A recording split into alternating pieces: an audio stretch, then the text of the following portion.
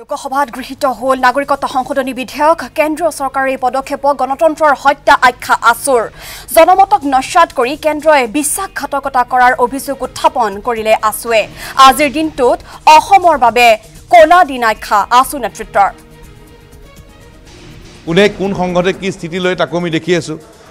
আৰু স্পষ্ট কথা যে নৰেন্দ্ৰ মোদী ডাঙৰীয়াৰ নেতৃত্বাধীন বিজেপি চৰকাৰখন বাংলাদেশী ৰক্ষক অসমৰ খিলঞ্জীয়া মানুহৰ বিৰোধী উত্তৰ পূৰ্বাঞ্চলৰ খিলঞ্জীয়া মানুহৰ বিৰোধী আৰু তেওঁলোক বিশ্বাসঘাতক সেই কথাটোকে আমি এতিয়া দেখি আছোঁ।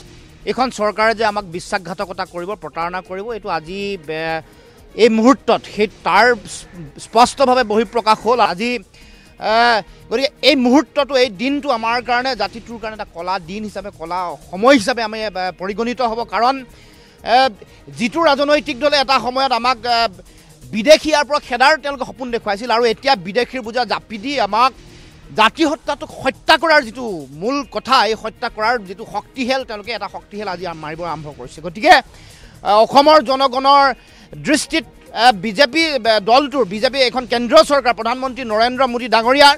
এই যিটো তেওঁলোকৰ দম্ভমূলকভাৱে তেওঁলোকৰ অসমৰ গণসংগ্ৰামক গণ আন্দোলনক নাচ্ছাত কৰি কিন্তু ৰাইজে গণতান্ত্ৰিক ব্যৱস্থাটোত কোনো মানুহে এখন কেতিয়াও গ্ৰহণ নকৰে। গতিকে গণতন্ত্ৰৰ যিটো মৃত্যু অপমৃত্যু বুলি যিটো ক'ব লাগিব সাংবিধানিক ধৰ্মীয় নিৰপেক্ষতাৰ চৰিত্ৰটোৰ যিটো মৃত্যু সেইটো আজি এই দিন এই সময়ছোৱাৰ পৰা প্ৰকট